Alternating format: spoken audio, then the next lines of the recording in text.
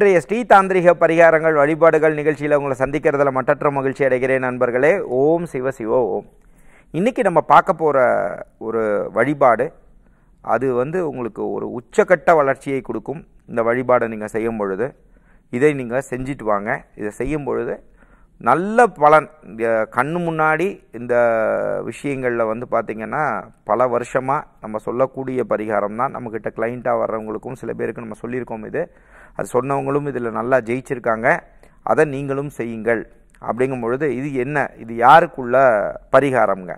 அப்படின்னா இது ராகு பகவானுக்குள்ள பரிகாரம். சரிங்களா? இது பரிகாரம்னு வரும்பொழுது நீங்கள் இதை என்ன புரிஞ்சுக்கணும்? அப்படின்னா இதை நீங்கள் வந்து வீட்டில் இருந்தும் செய்கிறதும் கற்றுக் கொடுத்துட்றேன் அதே மாதிரி ஒரு ஸ்தலத்தையும் சொல்லிடுறேன் அங்கேயும் போய் வழிபட்டுக்கோங்க. ஒரு ரெண்டு ஸ்தலங்கள் சொல்லிடுறேன் வாய்ப்பு இருக்கிறவங்க அங்கேயும் போங்க. அவன் அருளாலே அவன்தாள் வணங்கி. அதனால் அந்த சுவாமியை கும்பிடணும்னாலும் அவர் அவர் உங்களுக்கு உத்தரவு கொடுத்தாதான் அந்த சுவாமியவும் கும்பிட முடியும். அப்போது இதில் நீங்கள் வந்து எல்லாருமே செய்யலாமா அப்படின்னு கேட்டிங்கன்னா டெஃபினட்டாக செய்யுங்க சரியா? இது ராகு பகவான் வந்து இதில் நீங்கள் எந்த ஸ்தானத்தில் இருந்தாலும் சரி எந்த விஷயங்களில் இருந்தாலும் சரி இப்போ நான் சொல்லக்கூடிய விஷயங்களை நீங்கள் செஞ்சுட்டு வரும்பொழுது மாபெரும் மாற்றங்கள் உங்கள் வாழ்க்கையில் கிடைக்கும். ஏன்? அப்படின்னா இதுக்கு எதுக்கு ச இதில் ச ஜோதிட ரீதியாக என்ன கணக்கு அப்படின்னா இருக்கிறதுலேயே வந்து பார்த்திங்கன்னா ஃபஸ்ட்டு பவர்ஃபுல்லான பிளானட் எதுன்னு பார்த்தீங்கன்னா கேது பகவானுங்க. அடுத்தது வந்து பார்த்திங்க ஒருனா ஒரு குப்பையவும் ஒரு வந்து ஒரு பெரிய மாணிக்க கல்லாக மாற்றுறதும் எங்கே இருக்காங்கன்னே தெரியாதவங்கள மிகப்பெரிய வெற்றி கொடுக்கறதும் டெக்னாலஜி சம்மந்தமான விஷயங்கள் பெரிய பெரிய சயின்டிஸ்ட் சயின்ஸு அதே மாதிரி வந்து பார்த்திங்கன்னா டாக்டர்ஸ் அதே மாதிரி ஆராய்ச்சி மூலமாக மிகப்பெரிய வெற்றிகள் எங்கேயோ இருந்தாங்கங்க திடீர்னு பார்த்தா பெரிய ஆளாயிட்டாங்க ஒரு சாதாரண கஷ்டப்பட்டாங்க அப்படிங்கிறத பவர்ஸ் கொடுக்கறது யார்? அந்த பிளானட் யாருன்னா ராகு பகவான். அதே அவர் கெட்டவராகிட்டார்னா மிகப்பெரிய கோடீஸ்வரனாக இருந்தாலும் கீழே தள்ளிடுவார். அப்போ இது என்ன பண்ணும்? இது வந்து சாந்தி பண்ணாது இது பிரீத்தி பண்ணும். பிரீத்தி என்பது வேற சாந்தி என்பது வேற. பிரீத்தின்னா சந்தோஷப்படுத்தக்கூடிய பரிகாரம். சரி வீட்டில் செய்கிற மெத்தடை ஃபஸ்ட்டு சொல்லிடுறேன். வீட்டில் எப்பயும் போல தான் நீங்கள் செய்ய வேண்டியது என்ன பண்ணணும் அப்படின்னா யமகண்ட நேரங்களில் வந்து நீங்கள் செய்ய வேண்டியது ஃபஸ்ட்டு விநாயகரை கும்பிட கும்பிட கும்பிடாமல் கேது பகவான் பிரீத்தி ஆவார். காளியை கும்பிட கும்பிட பிரீதி ஆவார் இதெல்லாம் நீங்கள் ரெகுலராக தெரியும். அதே மாதிரி ராகு கால நேரத்தில் கடைசி அரை மணி நேரம். அது பேர் அமிர்த கடிகை நேரத்தில் நீங்கள் என்ன செய்யுங்கன்னா பானகத்தை கரைச்சிக்கோங்க. இந்த பானகத்தை கரைச்சிட்டு மனசார அதில் எலுமிச்சம்பழம் நல்லா புழிஞ்சிக்கோங்க. அதே மாதிரி இதுக்காக நான் வந்து ஒவ்வொரு டைமும் வந்து நான் கோயிலுக்கு தான் போகணுமா? கிடையாதுங்க. கோயிலில் இருக்கக்கூடிய சுவாமிங்கிறதும் சுவாமி தான் அதே மாதிரி உங்கள் ஆற்றுல இருக்கக்கூடிய சுவாமியும் சுவாமி தான் அதே மாதிரி இந்த பூஜை அறையவே உடச்சிட்டு சில பேர் பெட்ரூமாக மாற்றக்கூடிய சுவாமி ரூமே இல்லாமல் ஏன்னா நம்ம டேரக்ட் விசிட்ஸுக்கெலாம் போகும்போதெல்லாம் பார்த்தா யாரோ சொல்லிட்டாங்க எதுக்குங்க வீட்டுக்கெலாம் பூஜை ரூம்னு சொல்லிட்டாங்கன்னு சொல்லி அப்படி வாழ்ந்தவங்கெல்லாம் பூஜை அறையெல்லாம் காலி பண்ணுறீங்க தயவு செஞ்சு உங்களுக்குன்னு ஒரு மெடிடேஷன் பிளேஸ் உங்களுக்குன்னு ஒரு ஏரியா வச்சுக்க வச்சுக்க நீங்கள் ஜெயிச்சிருவீங்க. நான் சொல்கிறத புரிஞ்சுக்கோங்க. சுவாமியை விட்டு விலக பார்க்காதீங்க. சுவாமியை விட்டு விலகி போயிடாதீங்க மனிதர்கள் சொல்கிறத நம்பி போனீங்கன்னா அவங்க சொல்கிறதெல்லாம் கடைசியாக ஒரு மனிதர்களை நம்பி போகாதீங்க. இதுதான் நான் தாழ்மையான இதாக சொல்கிறேன் சுவாமிக்கிட்டேயே இருங்க சுவாமியை விட்டு டிஸ்டன்ஸ் ஆகக்கூடாது. அதுக்கும் நீங்கள் ஒரு பிளேஸ் ரெடி பண்ணிக்கோங்க. வசதி வாய்ப்புகள் இல்லாதவர்கள் இந்த பூஜையை செஞ்சுட்டே வாங்க. உங்களுக்கும் நல்ல பெரிய வீடுகள் அமையும். அதே மாதிரி இதை நீங்கள் மனசார நினச்சிட்டு அந்த ராகு கால நேரத்தில் நீங்கள் என்ன செய்யுங்க? அந்த அது பண்ணிக்கிறது எலுமிச்சம்பழத்தை புழிஞ்சு இதை பண்ணிக்கிறது அதில் பனங்கற்கண்டு போட்டு தான் அந்த பானகத்தை கலந்து வச்சுக்கிறது. இதை நீங்கள் டெய்லி கொடுத்துட்டே வர்றது. அப்போ நீங்கள் மனசார நினச்சிக்கிறது ராகு காயத்ரி சொல்ல வேண்டாம். துர்காதேவியை மனசார நினச்சிக்கிறது. அதுக்கு வந்து பார்த்திங்கன்னா நவதுர்கையோட மந்திரங்கள் பிரயோகம் பண்ணிக்கோங்க. பிரயோகம்னா பண்ணிக்கலாம். இதை நீங்கள் பார்த்தீங்கன்னாலும் ஸ்ரீ தாந்திரிக் அஸ்ட்ராலஜி அப்படின்னு நீங்கள் டைப் பண்ணிங்கன்னா அந்த நவதுர்கையோட மூல மந்திரம் நம்ம போட்டிருக்கோம். அதை நீங்கள் போய் பார்த்துக்கலாம். சரிங்களா?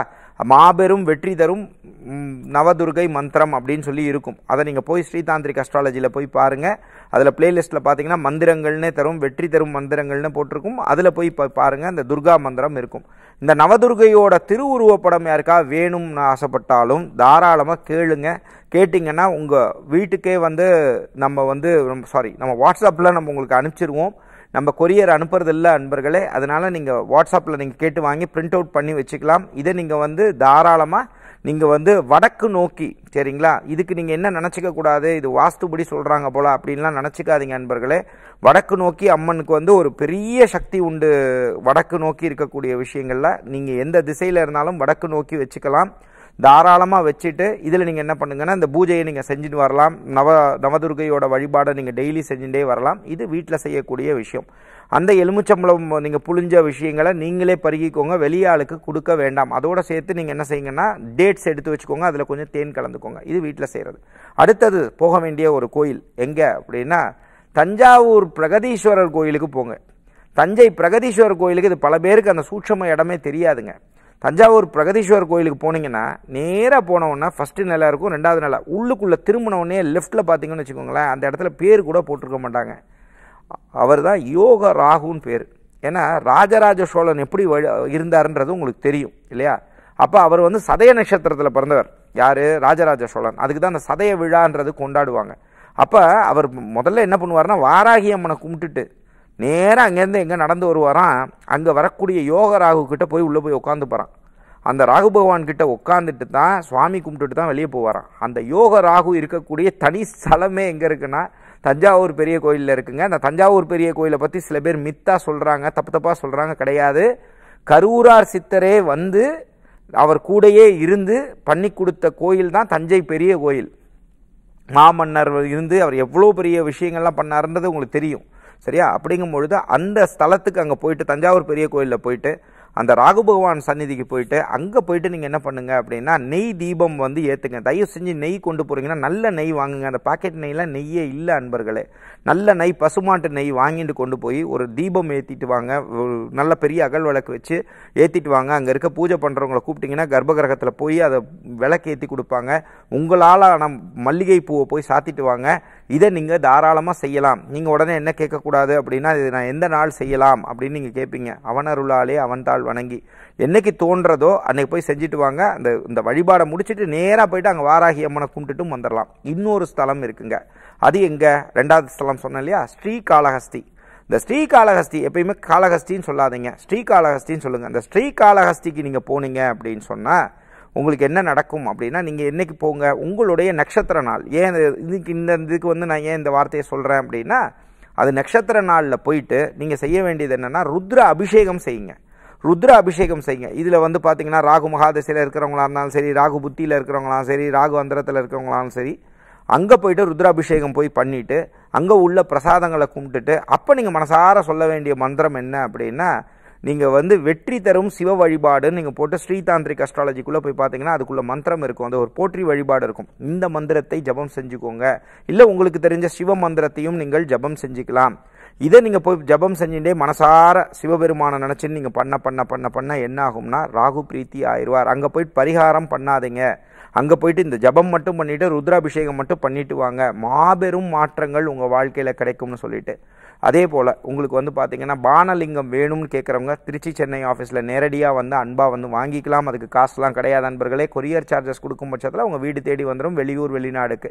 நாளை மற்றும் ஒரு தாந்திரிக ரீதியான வழிபாடுகளுடன் உங்களை சந்திக்கும் வரை உங்களிடமிருந்து வணக்கம் கூறி விடைபெறுவது உங்கள் விஜய் சேத்து நாராயணன் நன்றி வணக்கம். ஓம் சிவ சிவ.